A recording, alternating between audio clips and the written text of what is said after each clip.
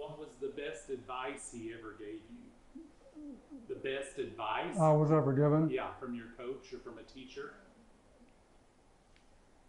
Wow. That would have to be Jess Thompson. That would have to be him. There, it's, it's close. There's others really close.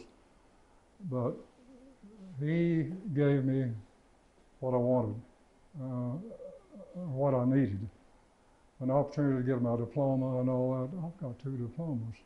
One from down there, and then later on, they sent some stuff up to Claremore High School, and John McKeever sent me a diploma. diploma. So uh, I'm a really a well-educated man. But uh, as far as English is concerned, I could probably spoke Cherokee better if they'd have given me the opportunity.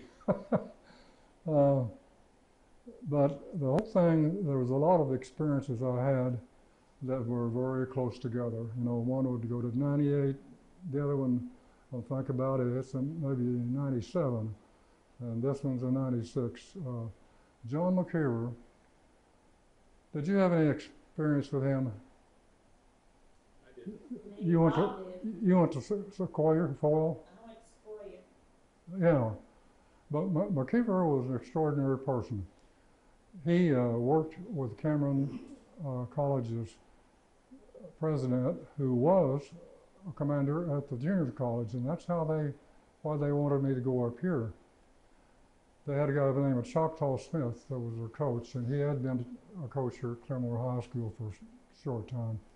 Full blood, um, probably um, Osage. I don't know for sure, but he's a good man.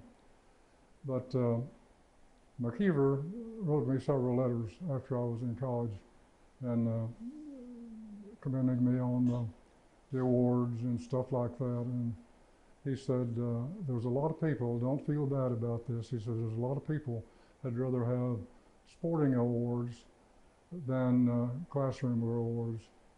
Uh, we had an astronaut from Claremore uh, my personal friends of him. He and I went to school together out of Justus and here at Claremore. So I said, yeah, that's good, but my place is down here, not up there 365 miles above this planet. But uh, he was a some scholar, you know, he, but, and he was a good friend. And uh, Dewey kept up with him when Dewey was in the service right until Stuart's death.